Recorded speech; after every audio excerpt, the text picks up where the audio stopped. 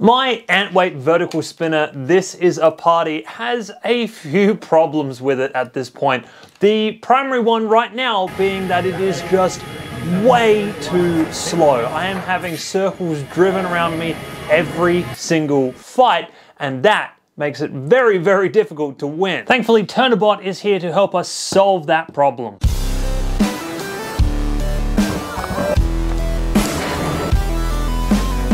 Turnabot have sent through a Malenki Nano and two different flavors of their N10 drive motors, 1200 RPM and 1650 RPM. So these are some very, very fast motors. Now the Malenki Nano, for those of you who don't know, is an ESC and a receiver all in one, so this cuts a bit of weight. These are N10s, which are slightly smaller and slightly lighter than the N20s that I have been using, which are these ones from DF Robot. They have an ESC on the back of them, and as you can see, they are slightly longer, they are slightly heavier. I don't think that the DF Robot ESCs put full battery voltage into the motor. They seemingly move slower than they should do for the voltage that they are given. So these are going to be a massive upgrade in speed, not only because they are geared faster, but also because they're actually giving full battery voltage. Obviously, the other advantage here is if we do manage to save a little bit of weight with these new components, we can redo the armor package. Because as you can see,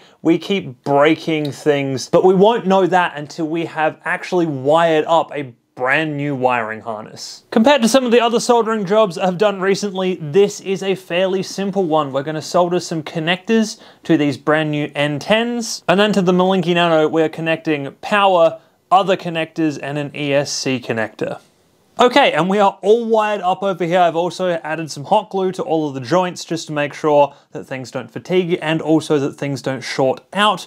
We already have our old wiring system on the scale. It's 30 grams. So let's see how much weight we've saved by moving over to the Malenki and these really cool, really fast N10s.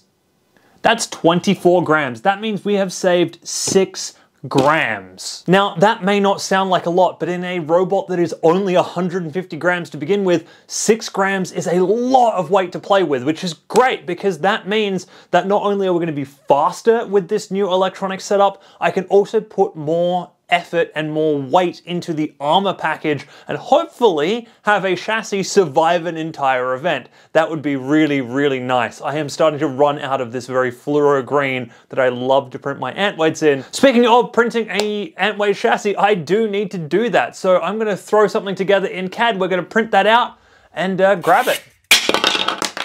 So I have really used the weight that I had to play with here. I have gone with some detachable wedgelets and I've given the game away because I didn't bring a full set. I have printed multiple of all of the wedges and actually also of the chassis itself. So we've got one chassis here and one chassis here with just a ton more wedges in it.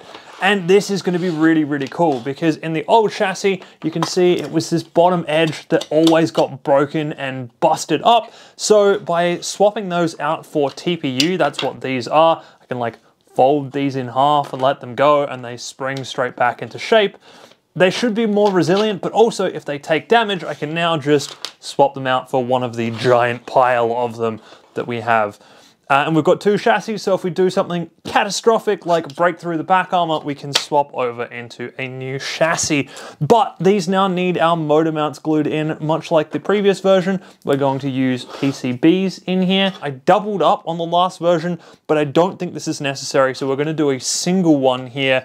Also because I'm just a little bit worried that these new wedges are gonna add a little bit more than six grams, but the next thing to do is to epoxy these in.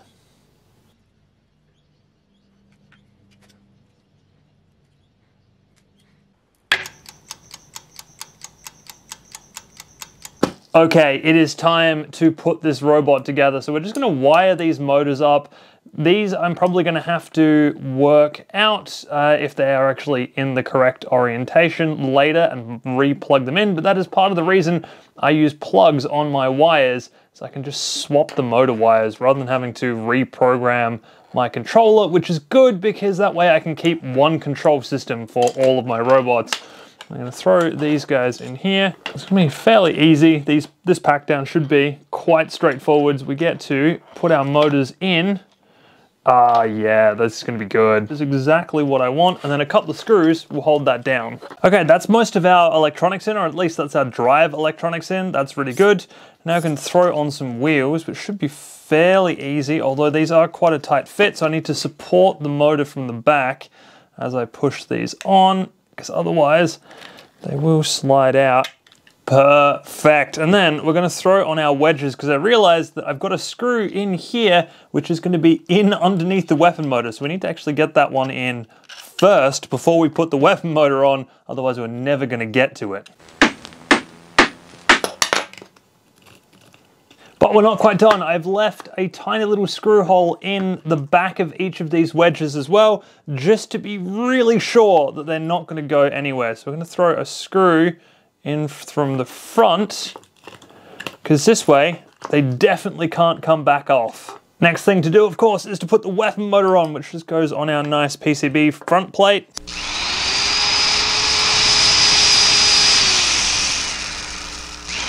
So normally here I would just bolt everything together. I'd spend a little bit of time fiddling with the weapon system to get everything to work the way I want it to, but I am impatient right now and I want to see this thing drive. So let's do that instead. Three, two, one.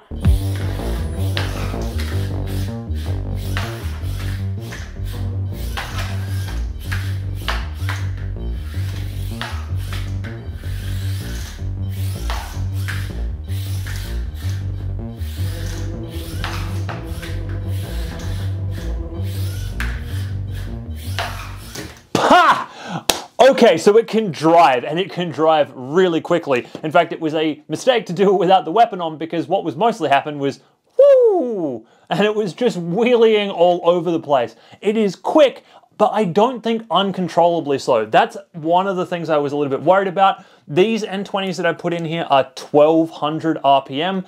Uh, and I got sent some 1200 and some 1650, and I'm glad I went with the 1200. I think the 1650 may have been a little uncontrollable, but let me know in the comments down below if you think I should try out the even faster motors in this thing. The really cool thing about these motors too is that they are engraved with what speed on them actually is, so you never actually mix them up, which is going to be very, very handy moving forwards. Anyway, it is time to put a weapon on and hit something.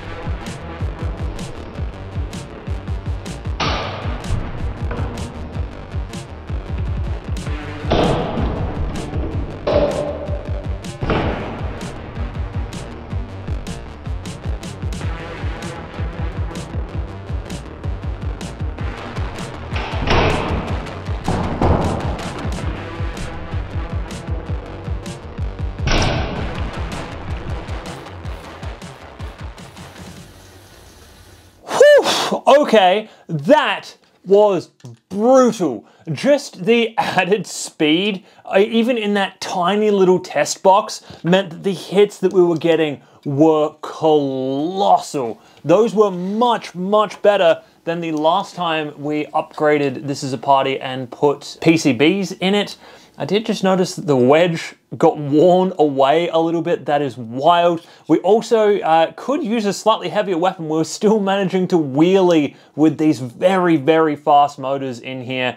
And I think we can fit it as well. I weighed the robot and it is like five grams underweight. So I can throw a bigger weapon on here and I might even do that before the next fight. But we won't do that in this particular video.